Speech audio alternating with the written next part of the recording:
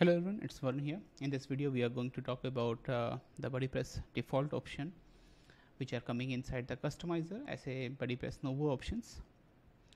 The first uh, options what we have here is the general BP setting. Inside the general BP setting, you have a use the round style member and the group avatar. At present, uh, it is enabled, so that's why all the avatar what we are getting here are displaying as a round and if you are going to uncheck it they will be displayed as a square one like this. So if you want to enable these options you can go from the BP Nouveau settings. And uh, the next is the container width. It is about the BuddyPress container width. It is more effective on the profile section. We can check that later on again. For the group um, front page and the these one most of the time no one is using these options so when we are on the single profile page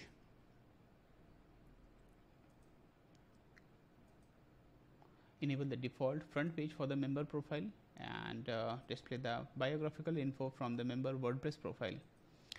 So it's something like that uh, you have some details in your bio from the backend. Uh, let me go and include some details there.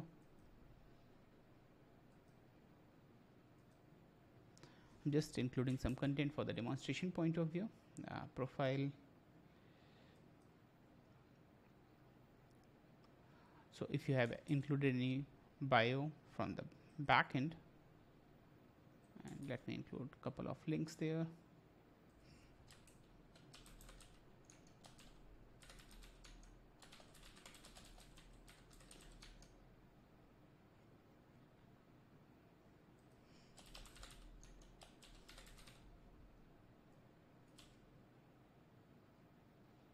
okay I think that should be enough. Update profile.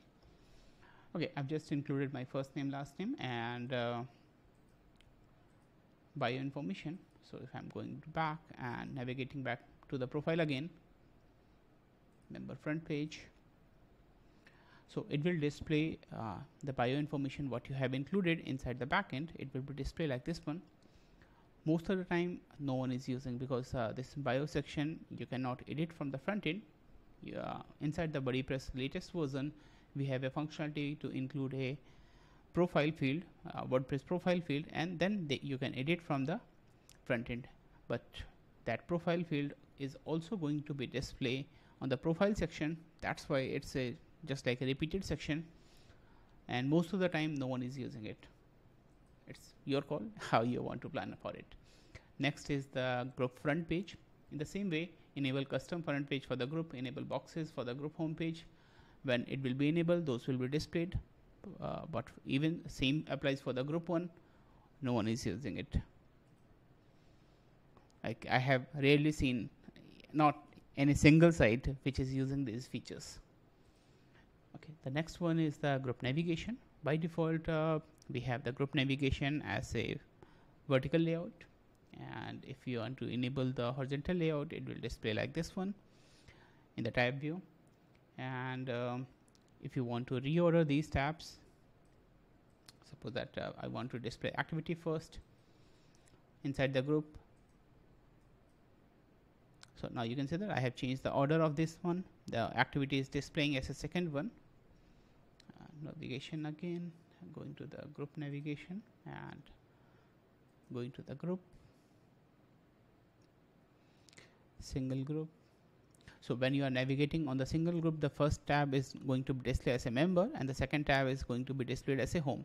So you can also reorder these tabs from these customizer option publish and same thing apply for the member profile. So in the member profile we have a single member profile. We have a vertical navigation like this one. And if you want to enable the horizontal navigation you just have to uncheck this box and uh, then it will display like this.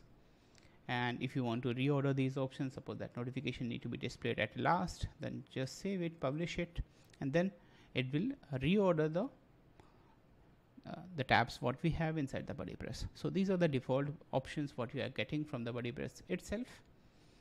Next is the loop layout. So navigating back to the directory actually loop layout is uh, basically for two things. First is the member and the group listing. So by default we have members in the two column. If you uh, three column if you want to display in the two column you can just use this option. And you can also display in one column. It look like this one. And um, we also have a member friends loop. So when you are someone is going to their any profile they also have a friend tab this one. And it also lists all the member details. And if you want to display in the two column uh, you have to choose these values. It will going to display like this. Same applies for the groups. So the group directory by default displaying to three column. If you want to make two column one column or four column you can pick those options. And inside the group so there are members and there all those members are going to be displayed on the members tab. And this looping can also be controlled from here into two column like this. So hopefully this will explain uh, like what are the options you are getting from the BuddyPress itself inside the customizer setting. The next one is the use column navigation for the member directory. Next I'm going to the member directory.